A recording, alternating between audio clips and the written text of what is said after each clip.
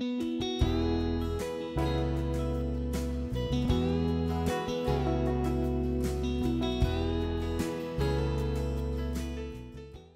right, page five, general norms. I don't know how well versed of you are at canon law. I brought it with me, okay? I'm not here to make you experts at canon law, but we have to understand what the universal law of the church is. So what you're going to see in every section, we're going to be quoting canon law. It's just canon so-and-so, they're all numbered. And then we're unpack it, and that's what the notes are. So every section has the canon law, then there's notes to unpack. But there's also law from the Diocese of Fargo, particular law. There's also norms given by the United States Conference of Catholic Bishops, and that's incorporated into this document. So we conducted the work of pulling everything together to, um, to, to do this for you. It was interesting, the last time we've updated our policy, the diocesan policy in Sac Sacramental Records was December 22nd, 2010. 2010. And what I should probably mention too, as long as I'm thinking about uh, former policy, the document you have in your hand came from this document. This document was put together by the former chancellor in 1998. Some of you may have this in your uh, parishes. It's an excellent resource. It was the foundation of this work. If you have this, though, throw it out. Okay, it's been superseded by this. It's, all this is in here, and then some new law as well. So this was a great resource. If you have it, though, it's now been superseded by what you have in front of you. But again, it was a great help, um, and I, I thank Father Irwin for putting that together.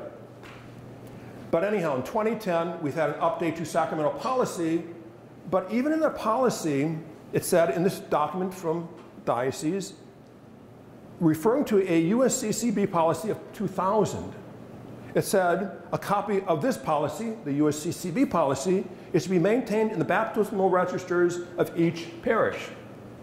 So if I go out to your parish, will you have that document that the USCCB published in, 20, in 2000 in your records? I don't know. I would doubt it. But again, that 2000 document, which we were told in 2010 to put in our baptismal records, is in here now. It wasn't in this earlier document. That's why um, we, we, need to get rid of this because that 2000, and I'll point out when we get to it, it has to do with adoptions. How do we record adoptions? The United States Catholic of Conference Bishops says do it this way, and you'll see that in here when we get to it. So there's universal law, there's law for the United States, and then there's diocesan law, and again, it's all incorporated into the document. So back on page 5, Canon 535, each parish is to possess a set of parish books including baptismal, marriage, and death registers as well as other registers prescribed by the Conference of Bishops or the diocesan bishop. So what does the church ask every parish around the world to have? A baptismal register, a marriage register, and a death register.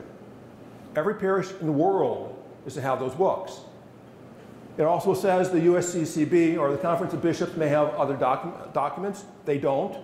The, our diocesan bishop, though, requires you to have a confirmation register. Okay, so that's particular law. It's not universal law, but it's, it's particular law. And then, um, uh, okay, section three of Canon uh, 535, each parish is to possess its own seal. Oh, I'm sorry. Okay. Uh, the end of 535.1. The pastors to see that these registers are accurately inscribed and carefully preserved. That's why you're here. So thank you for the work that you do to, as you said earlier, make your pastors look good. Uh, number three, each parish is possess its own seal, documents which are issued to certify canonical status of the Christian faithful, as well as acts which can have juridical importance are to be signed by the pastor or his delegate. We'll come back to that in just a second. And sealed with the parish seal. So use those parish seals. It puts a stamp of approval on that document. Again, we're going to unpack that a little bit as well. Number four, each parish there is to be a storage area or archive in which the parochial registers are protected along with letters of the bishops and other documents which are to be preserved for reasons of necessity or advantage. The pastors should take care that all these things which are to be inspected by the diocesan bishop or his delegate at the time of visitation or some other opportune time does not come into the hands of outsiders. Okay? Have the, has the diocesan bishop ever inspected your sacramental records? Well, let's push it. Has a delegate ever inspected your Sacramental records? And the answer should be yes. Who is that? Usually the dean. The dean, called a dean's visit. He will pull out your records and try to ascertain, are you keeping the records accurately? So these dean's visit happen periodically. that he is the bishop's delegate to do that. It's all been done in all your parishes because they do that on a regular basis. So, um, point number five: old registers are to be carefully protected according to the precepts of particular law. We'll deal with that uh, a little bit later. So now an explanation on some general norms. Again, uh, the required records, we already went through them, baptism, confirmation, reception, full communion, you can have that register as well. It's not required, but it's recommended, marriages and deaths. What, what was that last?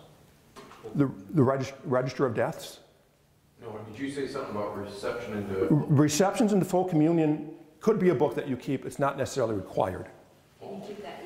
your baptismal. Yeah, well, yeah, everything, everything happens in your baptismal record, but there could be a separate book on that as well. There could be. Yes. That wouldn't be the same as the book of the elect? That's the, yeah, right. Okay, that they sign on Yeah. during the Easter. No, no, Book of Elect is for uh, catechumens. This is receptions in the full communion, which is not, if they're baptized already, they don't, wouldn't sign that book. But, but the simple point is there might be other records you're keeping. So what we need to be attentive to is what happens, how do the books work together? We can circle back to that. How do these books work together? So, um, but there are a series of books. Some are mandated, but some of them are not required. Uh, even when a parish serves as pastor of more than one parish, separate registers are to be maintained for each parish.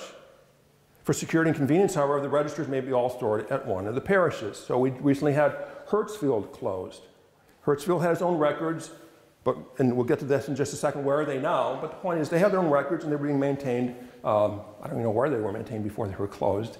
But you know, they weren't, they weren't stored there at Hurdsfield. The parish uh, maintained them, and then when they were closed, they went over to uh, the new parish. The next section, legal documents. Sacramental records are both private and public. Because the record itself is private, while the sacrament that was celebrated was public. The record was private when it was created, but can become public when it needs to stand in civil law for documentation. Usage of Sacramental registers for historical, genealogical, sociological, or demographic studies must always protect the privacy of persons named in registers. And we're going to talk about that a couple different ways uh, as we go through this morning. But every individual has a right to their own Sacramental records as long as they provide proof of who they are. And there's the next section that we're going to go through called confidentiality. How do we do that? How do, how do they present themselves? Who has a right to their sacramental records? But that doesn't mean they have a right to inspect the book. They have a right to the record. And those of you who've done certificates knows what this looks like. I don't think there are any non-parishes present, but the next section has to do uh, with non-present register, non-parish registers. You can read that if it applies to you, but basically you're to work with your neighboring parish. Page six, format. Registers are available from private vendors. Here's a sample of a baptismal register. It may or may not look like your baptismal register. That's okay.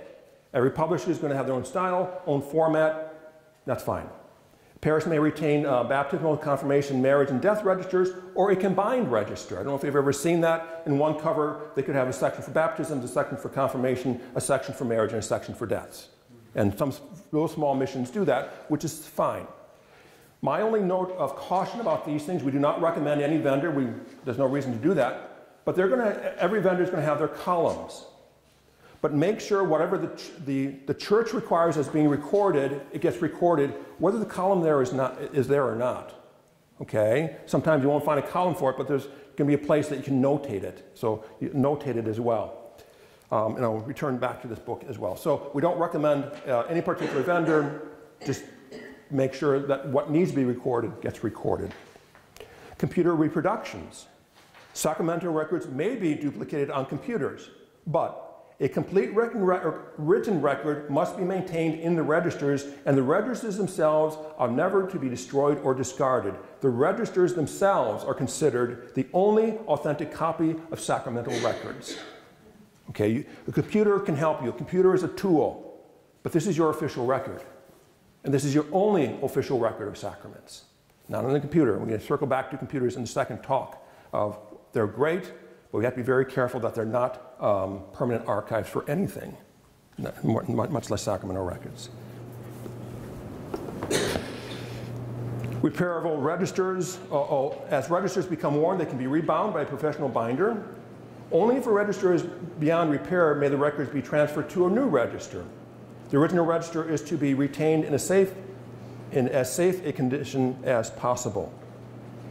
Now, be careful about rebinding rec- records if you find things recorded near the margin.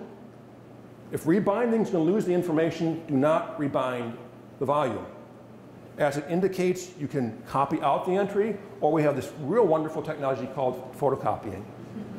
If your, if your register is beyond repair, that is, if, if there's a danger of, rebinding it, you lose information, make a copy of it, take that um, a volume, you can store it, or you can give it to us and store it. We have a number of volumes in our archive, which Paris has handed over to us saying these are hundreds of years old and they're too fragile for us to handle anymore. And so we do do that. And I know there's some parishes here which are quite old that if, if there's something too fragile to be, ha- to be uh, um, handled, take care of it. Okay? Uh, again, we have technology now to re- really easily uh, reproduce things, but be careful when you're repairing things that you don't um, uh, destroy the original inscriptions. Safe storage, the Sacramental records that are be stored together in a fireproof or fire-resistant locked place. And there's a lot of different ways of doing this. It could be a safe, it could be a file cabinet, things like that. They may be removed only by authorized personnel, only for legitimate purposes. And again, we're going to talk about that in just a second. The registers may never be taken off parish premises except for archiving by the diocese. Okay? I heard some oh-ohs out there. Just be careful, okay? You asked me to bring them. No, I know. so you brought them today for archiving purposes, okay? You want them to be maintained, which is great. Which is great. But, but these records belong to the church. They're property of the church. They're not property of any individual, including the pastor. So they're your, they're, please keep them safe. The loss or destruction of any sacrament or register should be reported immediately to the Chancery. Let us know if something's uh, missing. We try to scan them on a periodic basis, so if something goes missing, we can actually give you a copy of it, up to the point that we had scanned it in. So if it's a couple years old, you're missing all those, all those newer entries, but uh, we can actually do that as well. So, okay, I'm sure this is the next section something you've been waiting for, confidentiality. Care must be taken to protect people's privacy.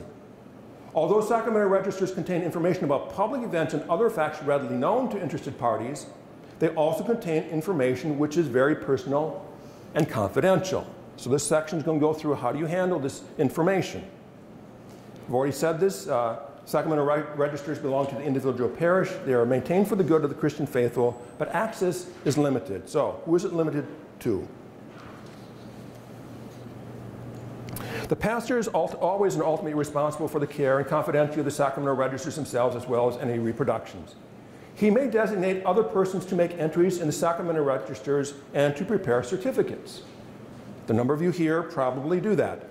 These may be employees or volunteers, but their numbers should be small. These designated persons must be known well to the pastor, must be capable of careful work and protecting confidentiality, and must be adequately trained to work with the registers.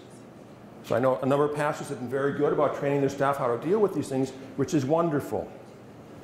There's a norm in canon law, and this is the way I learned it. Some of the other priests may learn it a little bit different. Is that if it's not in writing, it doesn't exist. So, if pastors are, design, are designated persons to care for their registers, that should be in writing. It's not in writing, it doesn't exist. So if your pastors are doing this, or if you as an individual haven't seen the letter, go back to your pastor and request one. If you don't know what that letter looks like, call us. It's not complicated, but what we, what we want to do is somebody says, Well, I don't know who this lady is who signed the certificate. She's the lady who's been designated by this letter, uh, by the pastor on such a date to do this work. So it's, it's, it's, it's documenting what the pastor's desires. Because the pastor's going to move on. The pastor may suddenly die. See, that could be in your job description also. It should be in writing. I mean, it should be signed by the pastor. Um, yeah, I suppose. Let's yeah.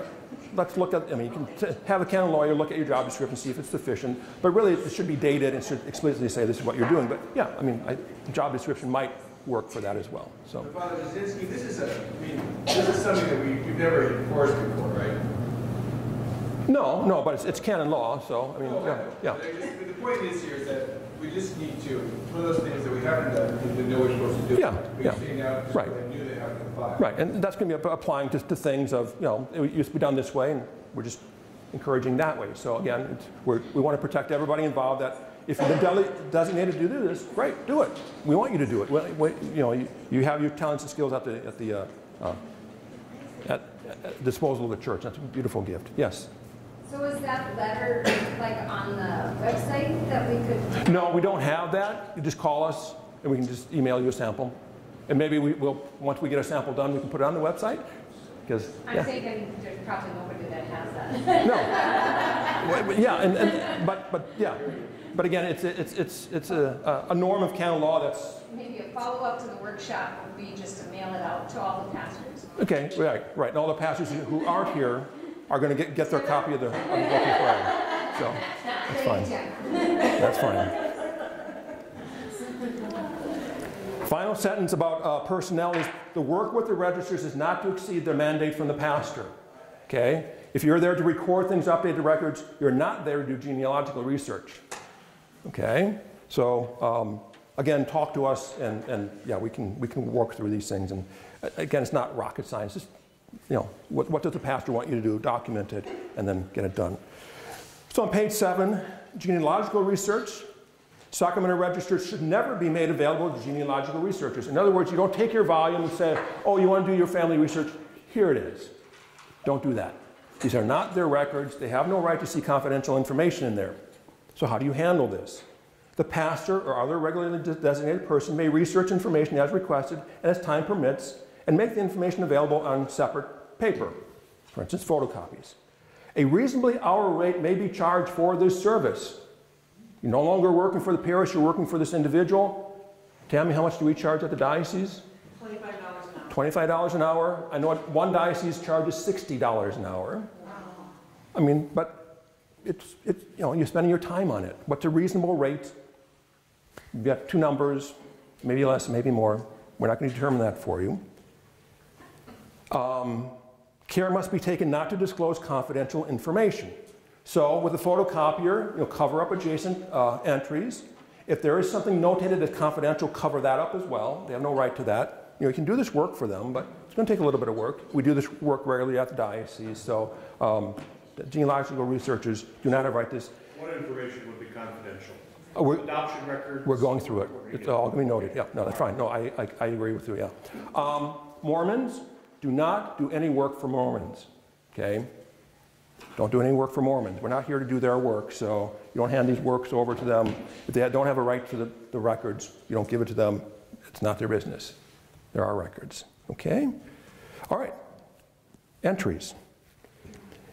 All and only the data required by canon law and other necessary uh, otherwise necessary for the complete and accurate maintenance of Sacramental records is to be entered in the Sacramental register. So it's, as we go through, you can see, you know, make these entries, make these entries, and sometimes you need to document things. So we'll, we'll work, through that in just a, a second. Entries made are to be made promptly as soon as after the event, accurately and legibly. Timeliness. What is the law in North Dakota about how soon you must get a marriage license in to the courthouse? Five days. Within five days after the marriage, that, that record must be there at the courthouse. If it's six days, guess what? It's null and void. You got to do the marriage again. Yes, that, that's, that's civil law. Look it up. That's civil law. So what, how can that apply to us? Get it done promptly. Okay? Get these records done. I'm dealing with a parish now that's been over a decade. It's over a decade. That should never ever happen. Do it promptly. If you need help, call us. And we're helping them, which is great, which is wonderful. Not everybody wants help. I'm dealing with another situation. He doesn't want help. Well, do I need to go in there with a mandate of the bishop and say, Father, let's sit down and look at this? If it comes to that, I'll do that. I don't want to do that, but if I got to do that, I have to do that. These are not his records. These belong to the church. These, these are maintained for the faithful. So timeliness is important. Place of entry. As a central rule, the proper parish for the recording of sacraments and deaths is a parish in whose territory the sacramental rites of Christian burial were celebrated. Okay? So if someone comes from California to celebrate a baptism in one of your parishes, you record the baptism in that parish. That's where it belongs. If one of your parishioners goes to um, Fargo to get married, The marriage gets recorded there. We're going to talk about, again, how things get communicated back, back and forth with um, baptismal record, and most of you have seen this already. But the proper parish is, is the place where the sacrament was celebrated. So Father, with burials though, funerals. We're going to circle back to that? Yeah, yeah, because I, yeah, it's, and uh, when we did this workshop last week, people were really, really surprised by our law about that. It's like, really?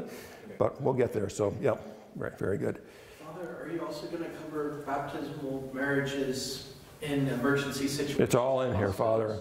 It's all here, yeah, yeah. You guys are really chomping at the bit, so let, let's get done with general norms first. Uh, chronological orders, prefer to enter them in chronological order. That sometimes doesn't happen where you have to go back and say, oh, we missed a record and it's going to jump out of chronological order, but that's, that's okay. Uh, specific columns, each, pair, each page of the register has several columns. Each column is titled. Uh, enter the proper data in the proper columns. If um, the church law asks certain things to be recorded as not a column, make them in notations. Different registers have different ways of titling that, that column. Sometimes it's called remarks, sometimes it's called notations, it could be other things.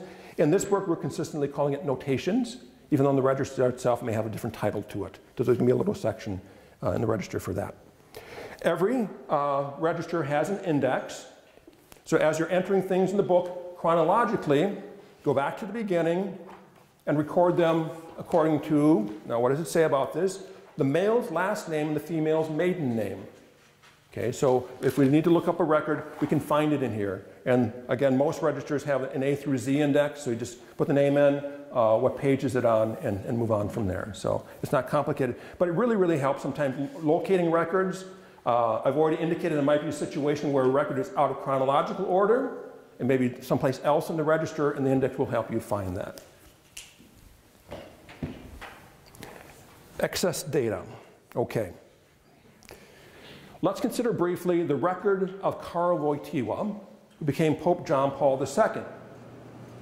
I actually have this on my PowerPoint. If you want to see it later, I'll show it to you later. But in the Sacramental Register, there's a place for his baptism. Great, let's record it there. He got recorded, his parents got recorded, his sponsors got recorded. He was confirmed, right? That got recorded. He was ordained a deacon. Okay, record that. He was ordained a priest. Hmm, where's that going to go? Then a bishop. Where's that going to go?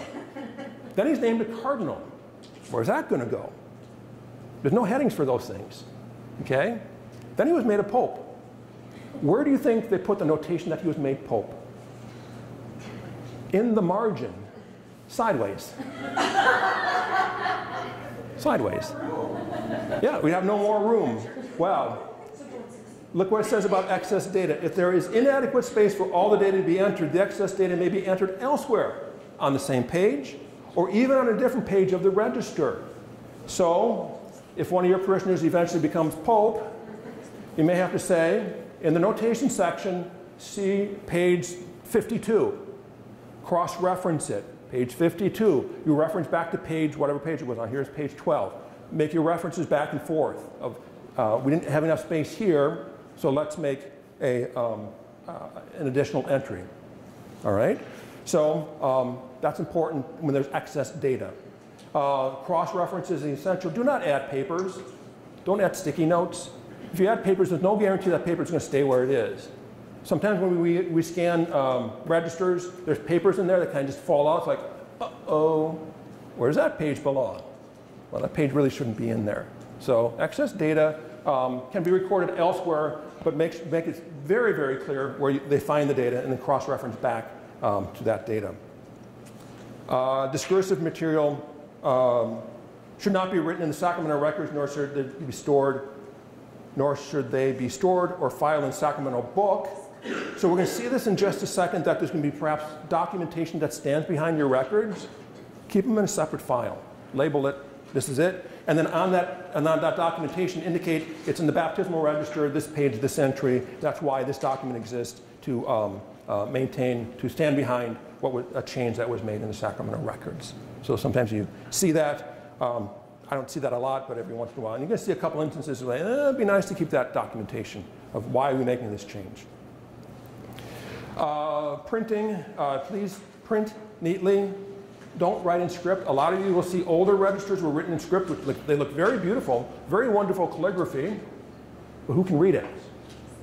who can read it. Um, it's kind of fun. I actually worked on a Sacramental record that was written in Old Script German, and I had to, within a span of a day, kind of figure out what is that letter, and what is that letter, and what is that letter. And in the end, I said, this is the best I could do with what I think this says. And of course, it's written in Latin, so you're working with German script, Latin language, and uh, just do the best you can.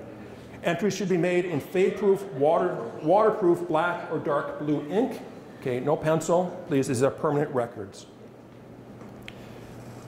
At the very back of this book, there are um, sample sections. So why don't we flip to this real quick, the sample sections.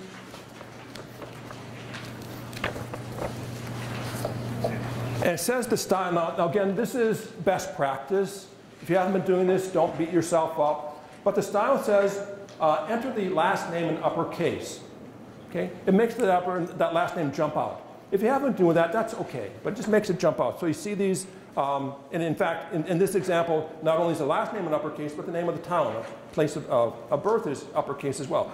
Um, again, I, I worked with Sacramental Records. Seeing that last name in uppercase really, really helps find things very, very quickly. Again, it's just a best practice. Um, so we're going to be going through these samples as well, and that's why, why that's there.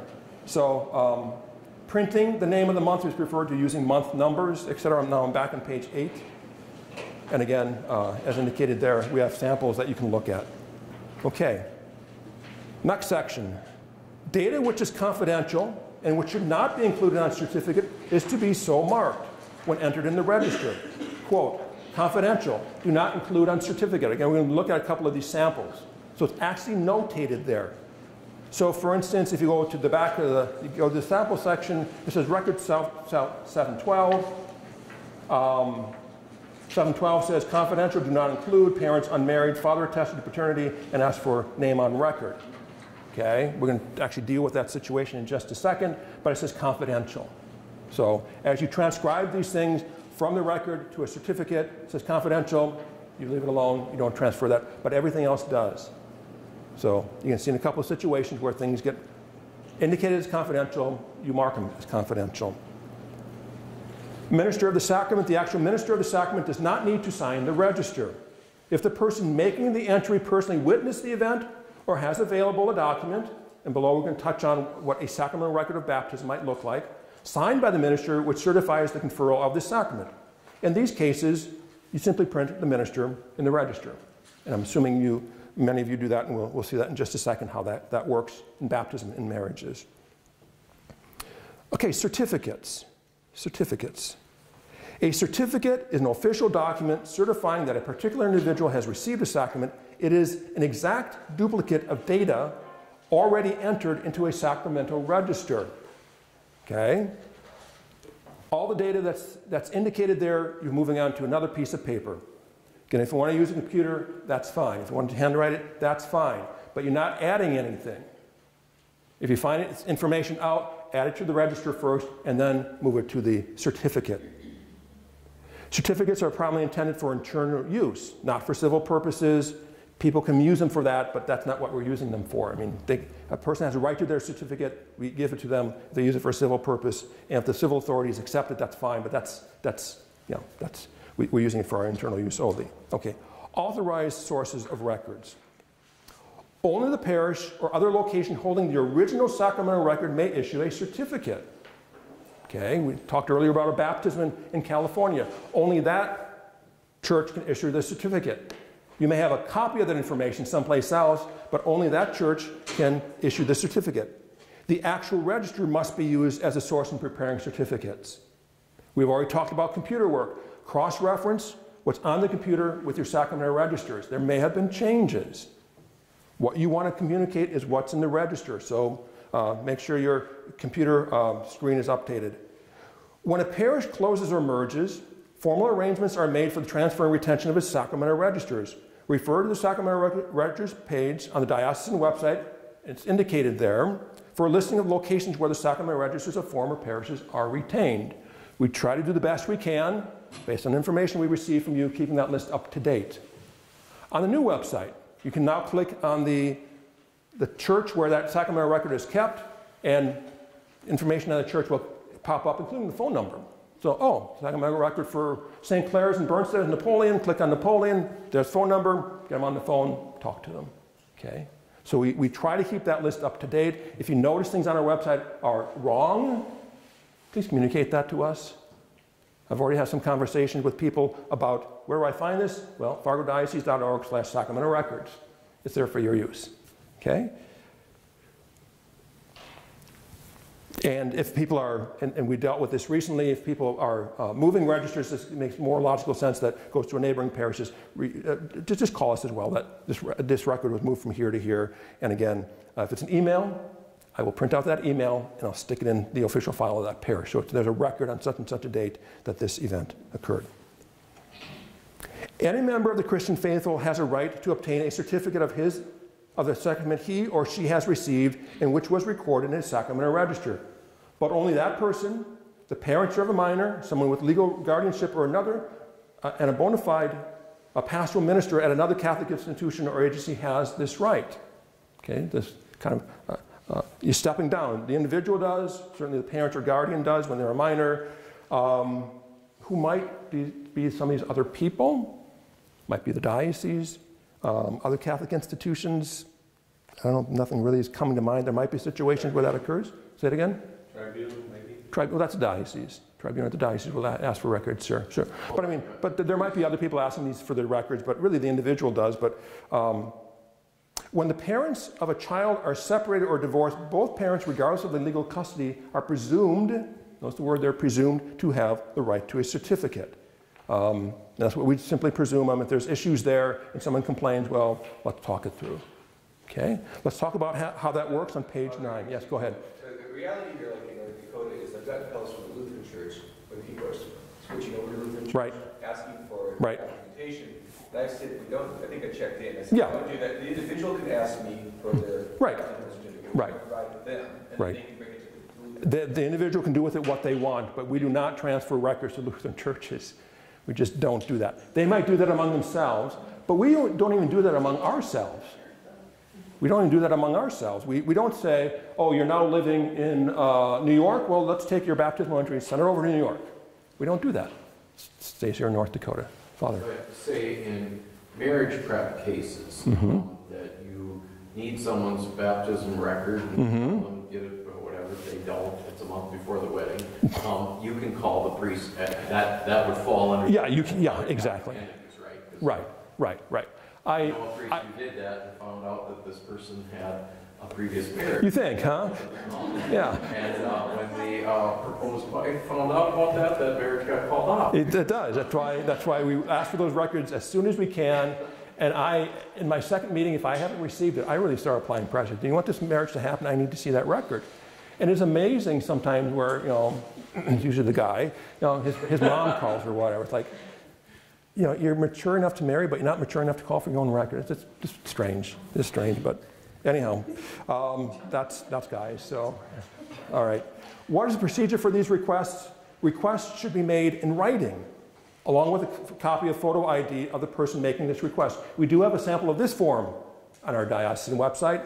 When we deal with records, it's, it's a, uh, uh, you know, what are we asking for when they're asking for this information? So uh, there's a template there if you want to use it. Telephone requests from a Catholic parish or Catholic agency, they're acceptable, but the written request and a log of telephone requests should be kept on file for a year.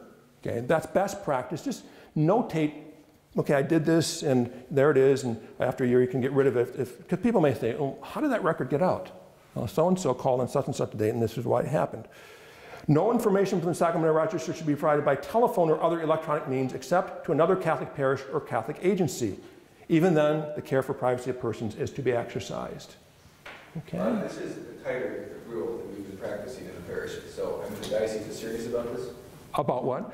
The Diocese is serious about, about the written request, because we get this frequently. I- But- but a written- I'm getting married in in Mandan, I need to, But a, a written request could be emailed, though. That the email is written. Take the email, print it out. We're going to talk about emails in my second presentation. What should be on there so it's properly documented? It should- simply shouldn't be the email. The, the person's email address should be their full person. So if you're printing it out, their full name is not on there. You stick it on there. Just write it on there. That's a written request. you you get a copy of the ID. I'm sorry. You get a copy of that ID as part of the email. Right, but that, that could be scanned and sent in as well. Okay, so the diocese, is now, this is, the diocese now asking us to do this. Yes, we have been for years. The diocese, yeah, yeah, no. Sorry, I've No, but- 10 years, I've not seen this. But, I mean, this but, but you're here, that's great. You're here, that's great. They can request over the phone from somebody that's doing marriage prep that wants their own. Yeah, but how do you, how do you prove it's theirs? I mean, that's, that's the question. I mean, fine, you're, you're John Doe. Or are you John Doe? I mean, yeah, we're asking for proof. We just need to, we just need to have this clear. Right, no, yeah, yeah, this is exactly. not- This is our policy, I'm sorry, it's. Here's Yeah, gonna no, yeah. read the website. Right, no, these are best practices. I mean, especially there's a lot of scams. I mean, I don't know so-and-so from Nigeria really is going to give me $3 million. They might, I don't know, but prove it. So, yeah, I mean, we got to be careful about scams. I, I don't think, you know, we presume on, on good, people's good intentions. Um, these are not government documents, so that you can't really, really use for, um, uh, uh, uh, uh, you know, imitating another person. But be careful, all right? Be careful. Yes. Written request is, is both when it's a priest calling over the phone or an individual. Okay, if a priest is calling over the phone, he's going to identify himself. He's going to name the parish he's at. That all can be cross-referenced. You can look all that stuff up up online. Yeah, you are Father so-and-so, and I see uh, on your official website you are there, and I do do that. When I get calls from dioceses, other dioceses, that, okay, very good, all right, I'll do this for you. I immediately pull out the book and say, is, is this the right address for this institution? So I, That's just because the majority of the time it's me getting the certificates over the phone. Right, right, no, yeah, exactly, exactly. But, but cross-check it, and, and, and, uh, yeah, and So again, then you have to keep record of that though? you should, again, if something goes out, people may ask later, why did this, why did we get this record? Or, or, or how, why did my information go to that party over there? You should. So again, it's best practice. I have even received requests from priests and tribunals and over the phone, and I've asked them, will you send me an email with that request, because I need it for my files. So then I have even from a priest or a tribunal, that written request with my files. So that, and then when you, I'm sending it, I'm not sending it to an individual, I'm sending it to a Catholic institution. I'm never sending it to somebody's home, I'm sending it to the tribunal office, or the parish office. But I still ask them to send me an email with the request. And for the, the files you're talking about, would that be the marriage file, or would that be just a separate log Any- that goes away in a year? Where do you put the? the- I have a separate, I have a separate file for those, requests. See, we don't, I don't even have a separate file for it, this would be a whole Yeah, no, it's fine, yeah, yeah, yeah. It's just my way of filing.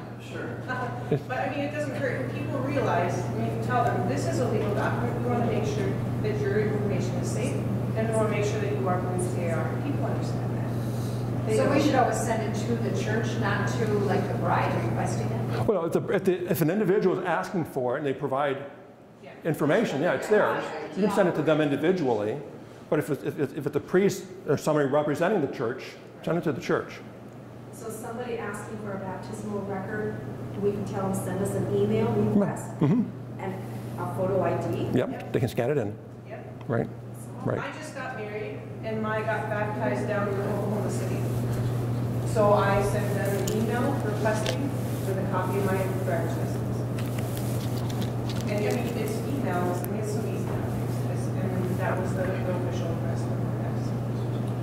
And then he said, And they said, she must work in the chancery.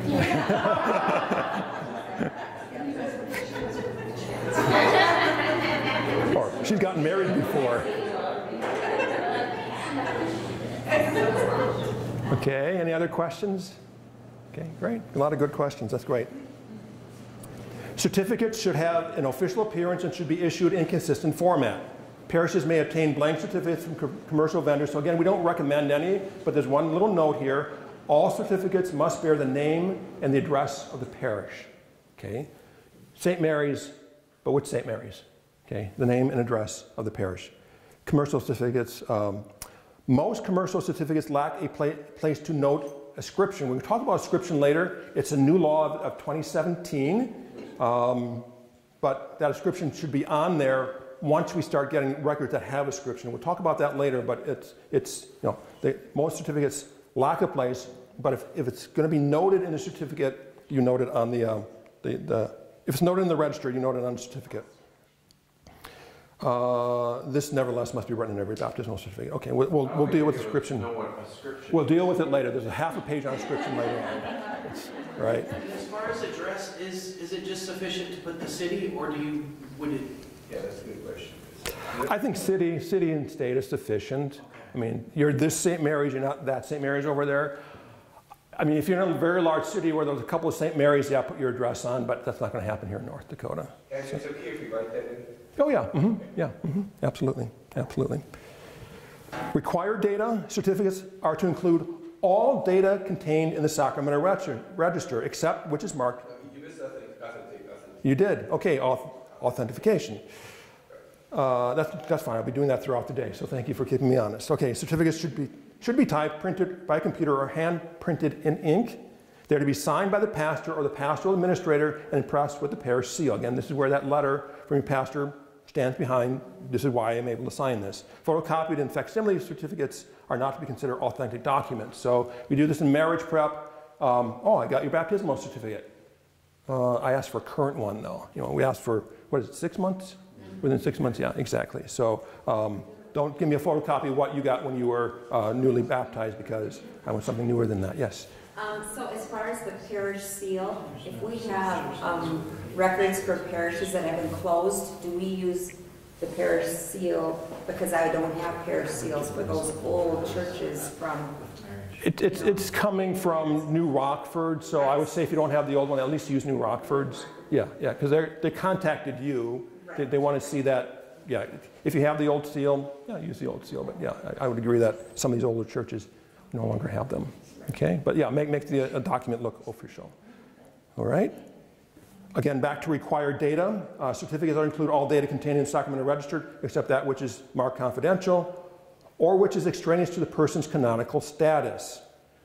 Um, what is that? I don't know, but when in doubt, just include it on certificate. Data in the notations column are to be included.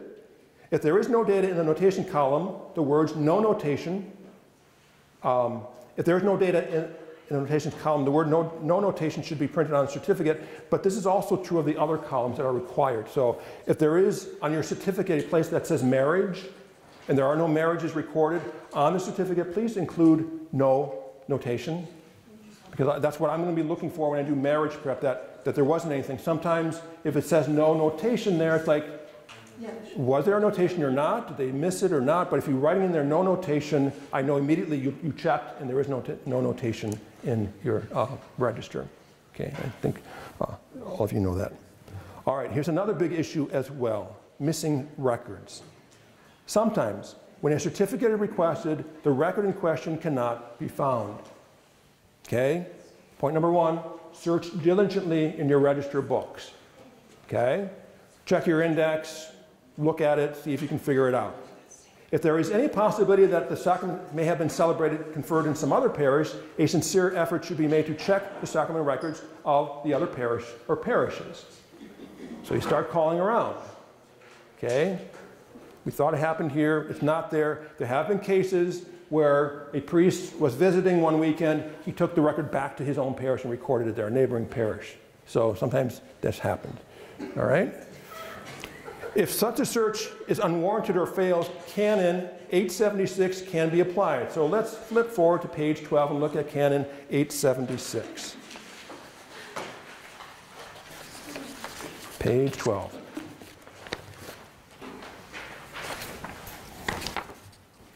Did I do that right? Okay. I'm sorry?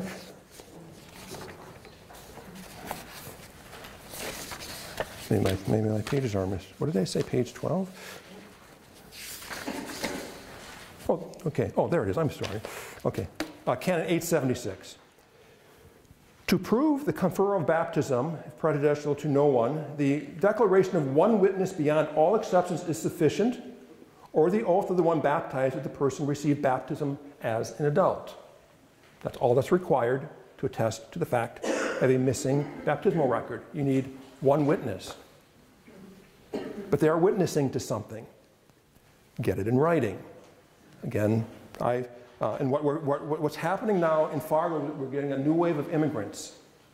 The recent stat I saw is 8% of people in Fargo are foreign born. 8% of people in Fargo are foreign born. So they come and present themselves to marriage prep. They've come over from a war-torn place in Africa. Guess what they don't have? The baptismal record. What do you do? You start talking to them. Okay, we ended out? No, I was a, a child. Is there anybody? No, my dad's dead, my mom's dead, my brothers and sisters, we can't get a hold of them. Is there anybody who was there? Oh, yeah, my uncle is here. And I had the situation. I had to sit down with the uncle and say, All right, tell me what you witnessed there. Can you attest that this young lady received baptism on such and such a date? Yeah. What was the date? I don't know. Is that sufficient? Yes. He's witnessing the fact, and on this year, perhaps in this month, he doesn't remember the exact day, that's okay. So, back on page nine.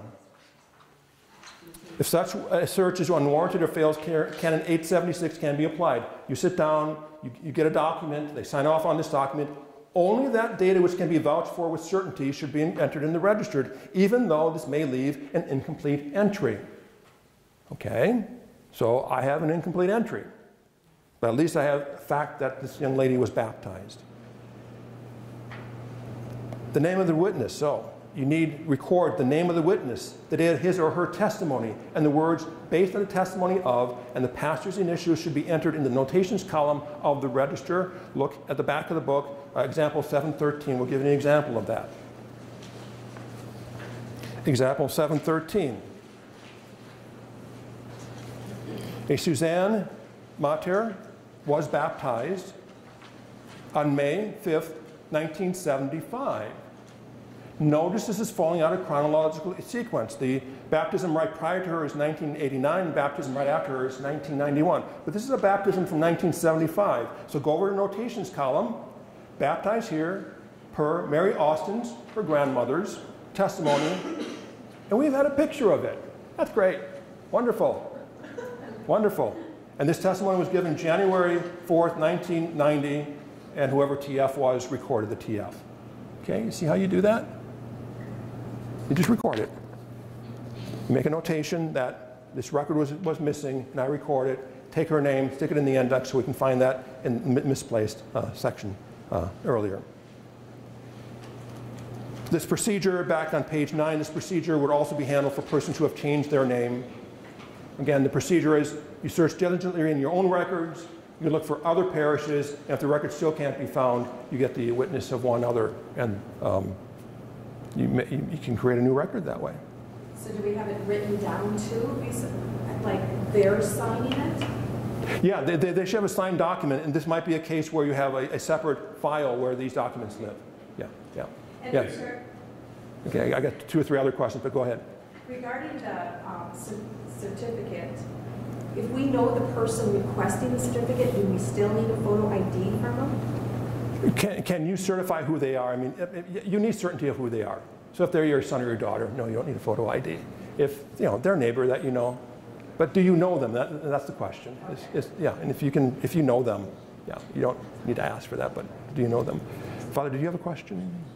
Question is about, is it my responsibility, having received the request for sacramental information, to track down that information? Or is it, I can assist them by saying, I don't have that record here. Some records might be in this community or that parish. I'd suggest that you contact them. I would say if they're requesting it for, um, to celebrate another sacrament like confirmation or marriage, help them. But for genealogical research, you're not, you're not bound by that. But it's, it's really up to you, Father, uh, how you want to help them. Because you know you can only do what you can do, and you only have so much time. So if you think, if, you know, it's better that they search someplace else. You know, try to rock their brain where this thing might be. So you, yeah, just help them the best you can. Okay. But but it's not my, so if somebody calls me in Anamoose and says, you know, I was born and raised around the Martin area. Okay. Okay. I don't have, so I have some records for Martin, I'm sure. Sure, Maybe sure. Harvey's got some. Sure, sure. got some. Yeah. Yeah. But, okay, I don't have that record in Right. Anamoose books. And you've got. Maybe it's in Harvey, maybe it's in Towner, but you're gonna have to contact. You, you, an- you answered their question, the record's not here. Okay. Yeah, exactly, so, yeah. It's yeah. not my duty to call No. Towner. Send them, send them to the website, say, here's, here's a map, now we have all our parishes on a map, look at, you know, call around to all these neighboring parishes. So, yeah. Question in the back? Yes, um, on the document that you were referring to when they send the testimony, you know, the picture or whatever. Now, they put down that, um, Father Martin Dunn was the priest, but I see that who the priest is of the church. Do, if they don't know who the priest was that baptized, they just put in that current priest? No. It would leave No, no, no, no. If, if you're not sure, you're not sure, you can leave it out. Okay. Now, they, they, luckily, they had, they had a photo. Oh, It says, it says they had a photo here, so maybe this, uh, Father Martin Dunn had been there for, uh, what is this, 20, 24, no, 14 years, I'm sorry. Maybe he's been there for 14 years. I don't know. okay. But yeah, yeah, they had, they had, they had a photograph, which is, which is great. That's, that's great proof, so good. Anything, other questions about missing records? Okay, you run, run into this from time to time. Father, but it's, it's one point, I think, canonically speaking, when it says that if you're baptized as an adult, I'm fairly certain that literally means they're seven years old. So if you, if a kid was baptized at eight or nine, and there's no witnesses, he can testify. He can testify to himself, yeah. It- it- um, Yeah, I, I'm not quite sure what, what the age cutoff is, but I, I agree with you. If they're certainly teenagers, they can attest for themselves. But uh, uh, what, how, what's the lower age, I'm not quite sure. But if there's questions, of course, we can call you. Call, call us. Yeah, exactly. No, yeah, absolutely. But yeah, good. Okay. All right. Next section is about changes. On the very bottom of page nine, once the entered in Sacramental Register data is considered official and permanent, it may not be modified special under special circumstances. We'll see this on page 10. Original data should never be scratched out, erased, whited out, covered by a sticky note, or otherwise destroyed or obliterated. Okay? Nobody has any questions about that? That's good. So, changes though, you see there's two major headings here. There's a styles heading, and there's a heading about insubstantial and substantial changes, so the type of change that's being made. So let's look at the style of changes first. Minor, minor changes, and we're going to talk a little bit about that a little bit down below too, but minor changes such as a correcting of a, a spelling may be made directly to the original entry. Such changes are to be made by simply drawing one line through the entry, number or letter to, to be changed, and printing them, printing the change immediately above or below it, initialing and dating it. So 713 is another example of that. But if you notice in 713, whenever this change was made, it was not dated, it was not initial. We don't know who it was, we're not going to go back and change that. Somebody changed Susan to Suzanne. That's her correct name. She perhaps she provided a document, say, look on my uh, driver's license. This is my proper name. Fine. Okay, we'll do that. And again, we'll go through this a little bit more. But, but a single line through it, date it, and initial it. On page 10, style for major changes, such as the record of an adoption, may require that a new entry be created. In these cases, the original entry is to be, be preserved without change. A new entry with all the data from the original entry reproduced, except for the relevant change, change or changes, is to be made in the same register as closely as close to the original entry as possible. Both entries, as well as the listing in the index, are to be cross-referenced, and the words "Do not issue certificate from this record" is to be printed carefully across the face of the original. So 714 shows you that. Now again, the "Do not issue certificate" is kind of off in the notations column, but then it refers you to page 86, which is the very next page, sample page, and so we got page 86, entry number 816. You see the record was moved forward from there, and then that became the official record. Okay, those are substantial changes. We got to really rework this record. Let's go put it in a different part of the book, but let's cross-reference it as well. Okay, what kind of changes are there? Back on page 10, an insubstantial error such as a mis- misspelling may be corrected upon request of those persons who have a right to a certificate as mentioned in the certificate section above. So again, the individual themselves or their uh, parents or legal guardian if they're underage. And I think that's pretty much it. You're not going to say, a pastor is going to call you and say, hey, so-and-so's name is misspelled. Well, let me talk to them. Let me get some proof of that. Substantial changes.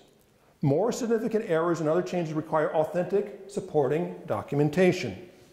Such documentation would only consist of an original raised seal certificate from a civil or ecclesiastical authority, court, agency, etc. The issuing agency data certificate and any protocol number should be printed in the notations column of the register. When, the, when an error involves data pertaining directly to the celebration of the sacrament or rite of Christian burial, for instance, the date, or the identity of, of godparent, such that no external uh, verifying documentation exists, the written or oral testimony of a reputable witness will suffice. Okay? So, um, we're going to come back to the question of paternity when we talk about baptismal uh, uh, records in just a second, but somebody presents themselves uh, saying, I'm the father of this child. Was it on the birth certificate? yes, that's sufficient. Give me a copy of it. I'll, I'll make the notation that you are the father of that child. And I'll now, now keep that document in my separate file in case the mother says, How did his name get on the certificate? Well, it's on the birth certificate. I mean, I'm not going to contravene the birth certificate, but I have that document. So again, the note of, uh, you can keep a separate file for that, uh, indicating on that supporting document the page and entry number of the Sacramental records. Okay? Go ahead. Again, keeping a separate file, that file is just a file for all changes in the, It could be. I, I don't know how many changes you're going to have. Are you going to have a separate file for your baptismal register and one for marriage? It's really, Father, depends how, how thick that gets. I, okay. I can't imagine it's going to get thick, but if it does, it, you know, It sh- it should be maintained in the per yeah, oh, yeah, exactly, right. And I, and I would say as close to the um, baptismal record, uh, close to the register as possible, but, Just but we don't have individual people's, files on individual people's, other than the, the staff and volunteers. All the marriages eventually go to the diocese. go to the diocese, right, right. So this would be just a, an overarching file that just keeps all of these sort of things. The supporting documentation. Okay. Right, right. So some permitted changes, I call these more sort of insubstantial changes, is correct name, the correct, well, the correct date and correct adopted parents may have to create a new um, record depending on, on what you're dealing with there, correct spelling, a new legal name, and adoptive parents. Adoptive parents is a special question, which we'll deal in just a second. Non-permitted changes, new godparents or new sponsors. There's a little bit pastoral note about that. You know, you know, if somebody's becoming delinquent as a new godparent, well, fine, name them, but the original record stands as is. Non-adopting step-parents, foster parents, does not get recorded in the baptismal record. A customary name or a nickname doesn't get recorded. Okay, there need to be legal changes. When we complete certificates, mm-hmm. it says, put in here the information that is in the register. Mm-hmm. If that information is in Latin or German or French, do we anglicize it? Or do we put it in with the, um, the grammatical endings on the words and all of that? That, that, that's a very, very, that's a very good question, and I don't know. And Tammy's going to note that because we have to get back to you. Um, because if it is in French or Latin, and if you know French or Latin, and you can translate that for the person, I think the person would really, really appreciate that on the receiving end of. Um, But you want to do it correctly. Oh, that happens a but, but, but, but I'm also thinking if, if a name, if, if a name got Latinized, especially in the old registers, uh, instead of simply Francis, it's Franciscus. That's the way it got recorded as Franciscus in Latin in the, in the baptismal register, for instance. And I would say you have to, you have to put Franciscus down on the certificate. But there's, Get into all the other endings and the various. right, right, I mean, transcribe it. Francisca and Francisci. and Exactly, all that kind of exactly.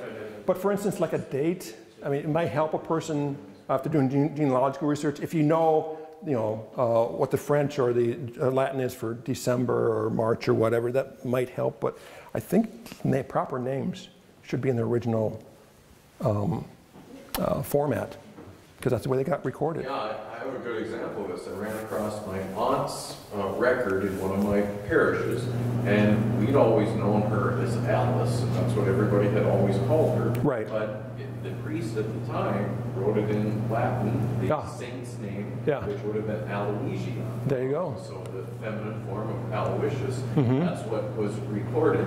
That's not, I don't think it was on her, um, oh. Birth what do you call it, certificate. Like her legal document. Yeah.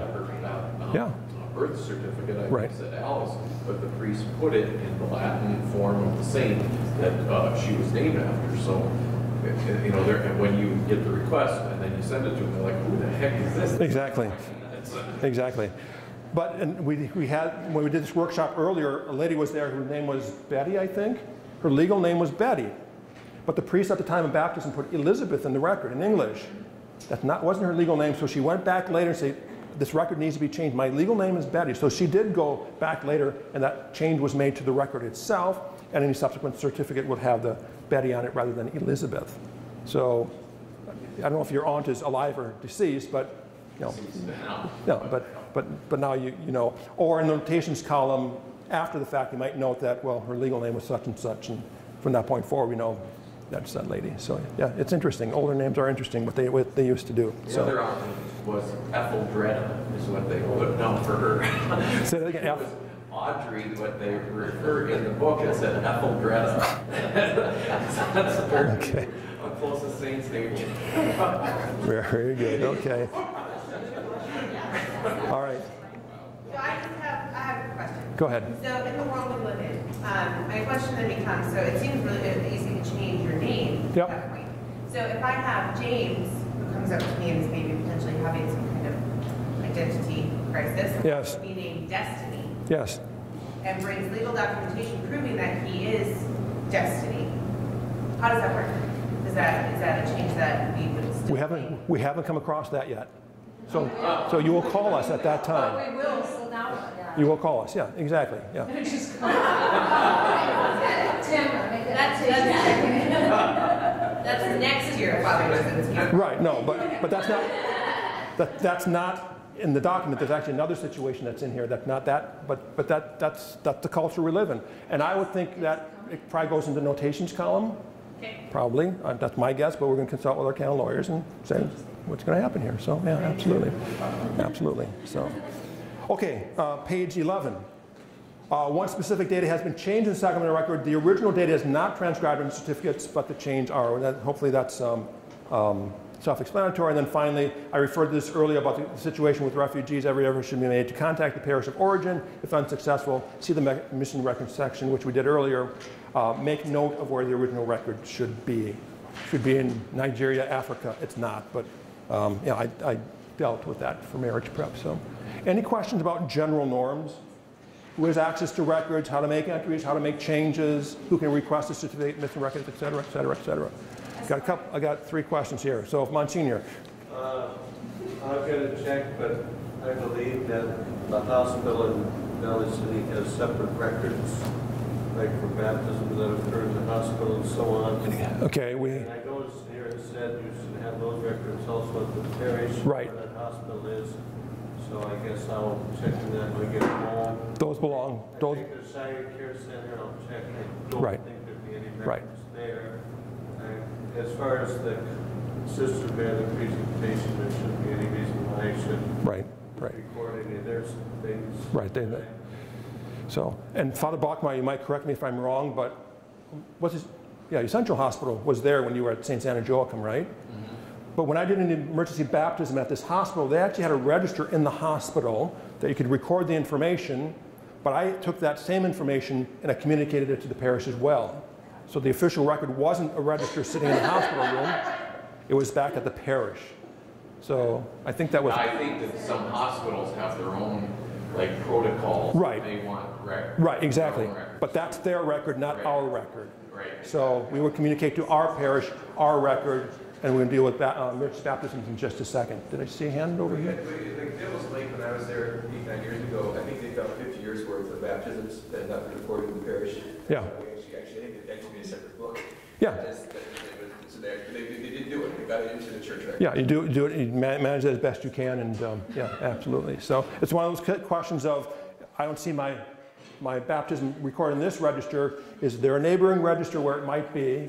Um, And pastors probably knew about that practice of keeping that separate register in the hospital, and perhaps look there. Okay, yes, Another note about confidentiality, I remember, um, I think this might have been when Irwin put that previous one out, that he had said one of the reasons for that, there had been at that time a recent uh, lawsuit in Pennsylvania because a priest had handed over their sacramental books to a genealogy publisher that printed all of the uh, records. Because of those being made public, there was a guy who lost out on a multi-million dollar inheritance because it was proven he actually, there was an illegitimacy in the past or whatever, and so he sued that priest for, or that, um, that parish for ha- for publishing um, records that were supposed to be confidential. Right. Um, And I don't remember how the lawsuit turned out or whatever. No, no, that, but- um, That, that type of thing is one of the reasons why they started like being more even strict, you know, you don't just give these out to. Exactly. anybody. You certainly don't give them out to genealogists. You don't give them out to genealogists.